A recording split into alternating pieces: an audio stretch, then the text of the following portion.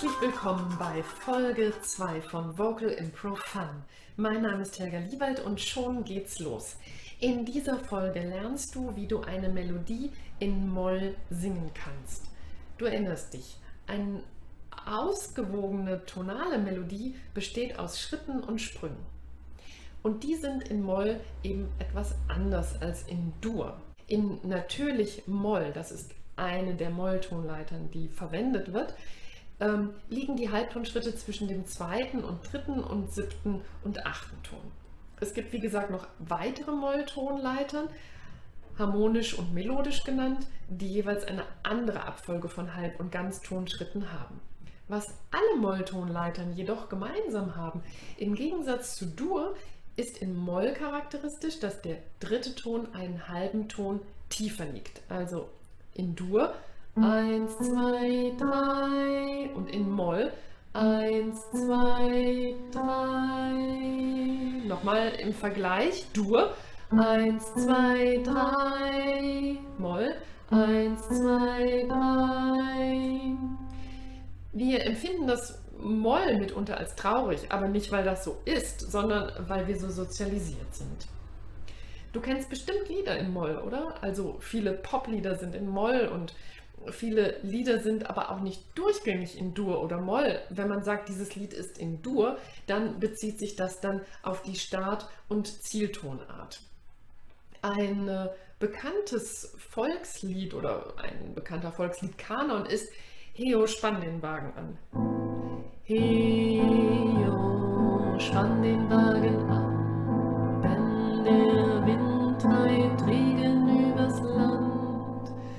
wie würde das wohl in Dur klingen?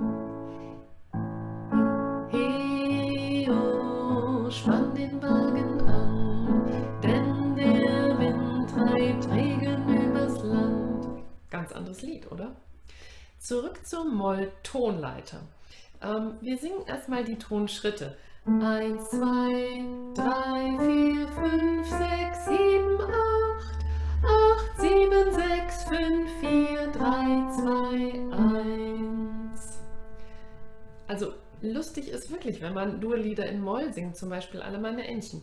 Alle meine Entchen schwimmen auf dem See, schwimmen auf dem See, Köpfchen in das Wasser, Schwänzchen in die Höhe. Oder umgekehrt. Das kannst du mal mit Liedern, die du kennst, versuchen. Damit du wieder automatisch auf den wohlklingenden Tönen landest und tonale, konsonant klingende Betonung hast, kannst du mit der Molltonleiter wieder auf den Bordun singen. Wenn ihr mehrere seid, könnt ihr damit ganz einfach zweistimmig singen. Die Übungen der Folge 2, die gehen wieder in fünf Levels für Anfänger und Fortgeschrittene. Level 1 ist einfach die Leiter immer wieder rauf und runter zu singen.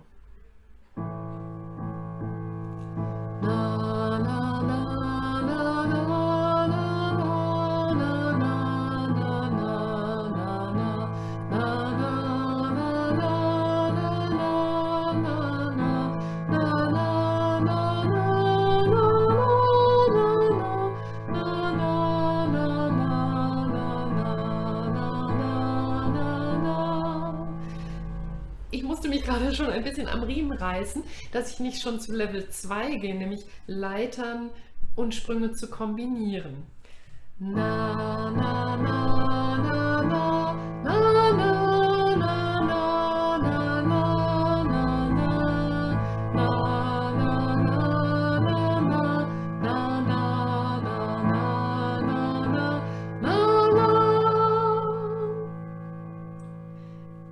Level 2b du kannst verschiedene Silben und Rhythmen unterbringen. Na,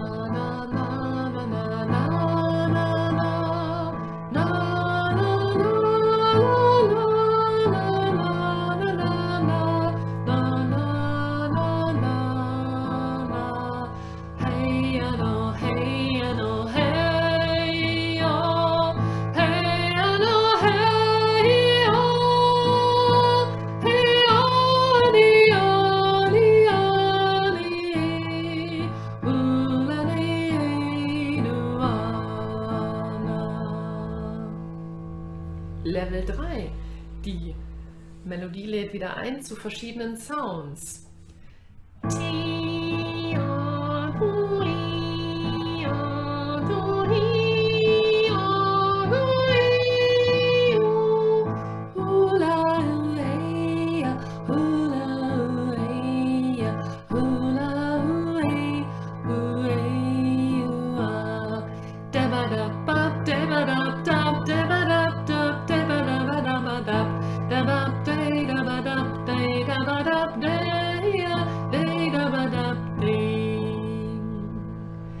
Level 4. Du kannst auf den Bordun Dur und Moll im Wechsel singen. Di,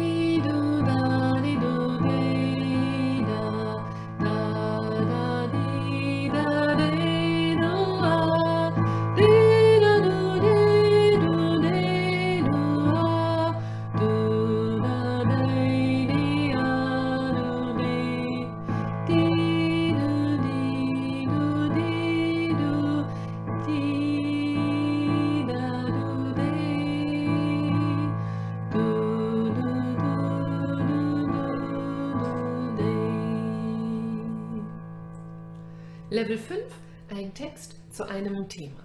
Zum Beispiel Thema Abschied bis zur Folge 3. Ich sage jetzt auf Wiedersehen.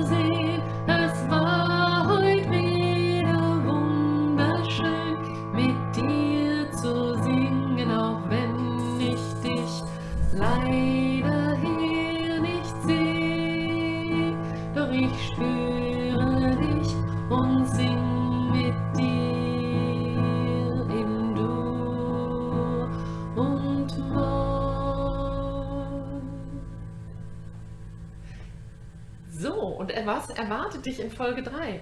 Wir bauen das Gefühl für Dur und Moll aus, sodass du auch zur Begleitung mit mehr als einem Akkord singen kannst. Ich würde mich total freuen, wenn du dran bleibst und Spaß mit den Folgen hast. Bis zum nächsten Mal. Ciao.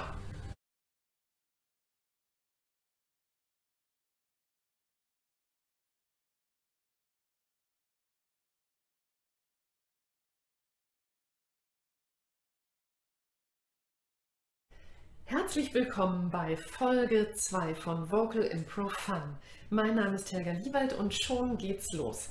In dieser Folge lernst du, wie du eine Melodie in Moll singen kannst. Du erinnerst dich, eine ausgewogene tonale Melodie besteht aus Schritten und Sprüngen. Und die sind in Moll eben etwas anders als in Dur. In natürlich Moll, das ist eine der Molltonleitern, die verwendet wird, ähm, liegen die Halbtonschritte zwischen dem zweiten und dritten und siebten und achten Ton. Es gibt, wie gesagt, noch weitere Molltonleitern, harmonisch und melodisch genannt, die jeweils eine andere Abfolge von Halb- und Ganztonschritten haben. Was alle Molltonleitern jedoch gemeinsam haben, im Gegensatz zu Dur, ist in Moll charakteristisch, dass der dritte Ton einen halben Ton tiefer liegt. Also in Dur 1, 2, 3 und in Moll 1, 2, 3. Nochmal im Vergleich Dur 1, 2, 3 Moll 1, 2, 3. Wir empfinden das Moll mitunter als traurig, aber nicht, weil das so ist, sondern weil wir so sozialisiert sind. Du kennst bestimmt Lieder in Moll, oder? Also viele Poplieder sind in Moll und viele Lieder sind aber auch nicht durchgängig in Dur oder Moll. Wenn man sagt, dieses Lied ist in Dur, dann bezieht sich das dann auf die Start- und Zieltonart. Ein äh, bekanntes Volkslied oder ein bekannter Volksliedkanon ist Heo, spann den Wagen an. Heo, spann den Wagen an, wenn der Wind Land. Ja, wie würde das wohl in Dur klingen? Heo, spann den Wagen an, denn der Wind treibt Regen übers Land. Ganz anderes Lied, oder? Zurück zur Moll-Tonleiter. Ähm, wir singen erstmal die Tonschritte. 1, 2, 3, 4, 5, 6, 7, 8, 8, 7, 6, 5, 4, 3, 2, 1. Also lustig ist wirklich, wenn man Durlieder in Moll singt, zum Beispiel Alle meine Entchen. Alle meine Entchen schwimmen auf dem See, schwimmen auf dem See, Köpfchen in das Wasser, Schwänzchen in die Höhe. Oder umgekehrt. Das kannst du mal mit Liedern, die du kennst, versuchen. Damit du wieder automatisch auf den wohlklingenden Tönen landest und tonale, konsonant klingende Betonung hast, kannst du mit der Molltonleiter wieder auf den Bordun singen. Wenn ihr mehrere seid, könnt ihr damit ganz einfach zweistimmig singen. Die Übungen der Folge 2, die gehen wieder in fünf Levels für Anfänger und Fortgeschrittene. Level 1 ist einfach die Leiter immer wieder rauf und runter zu singen.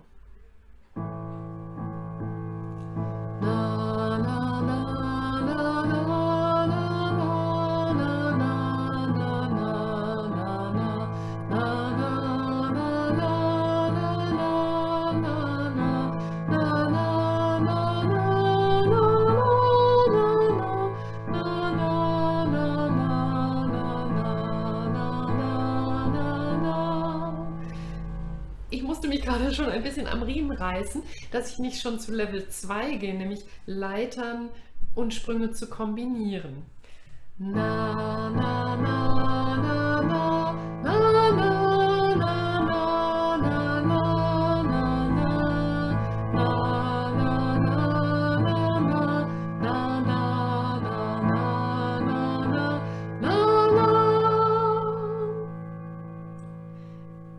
Level 2b du kannst verschiedene Silben und Rhythmen unterbringen.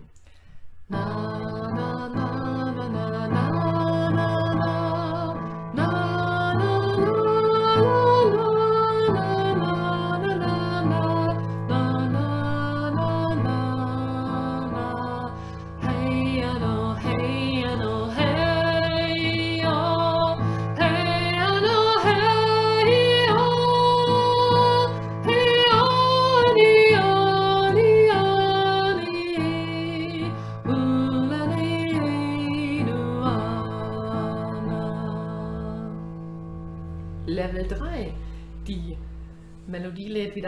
verschiedenen Sounds.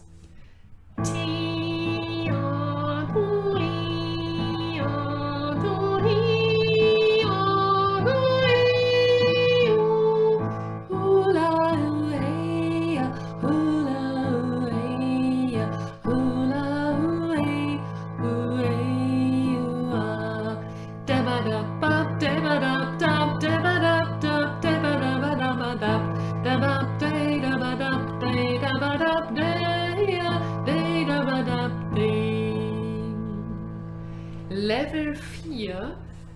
Du kannst auf den Bordun Dur und Moll im Wechsel singen. Di,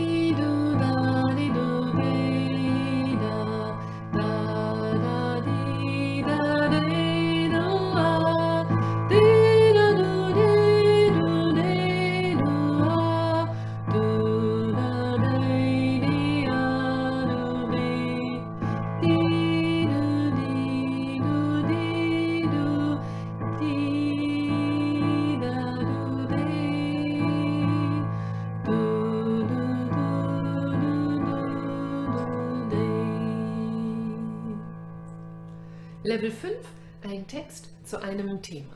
Zum Beispiel Thema Abschied bis zur Folge 3. Ich sage jetzt auf Wiedersehen.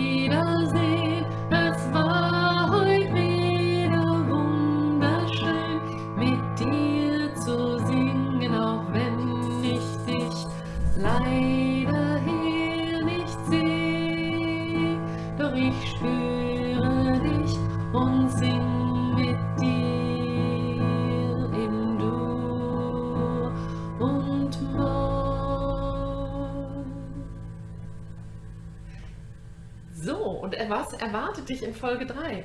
Wir bauen das Gefühl für Dur und Moll aus, sodass du auch zur Begleitung mit mehr als einem Akkord singen kannst.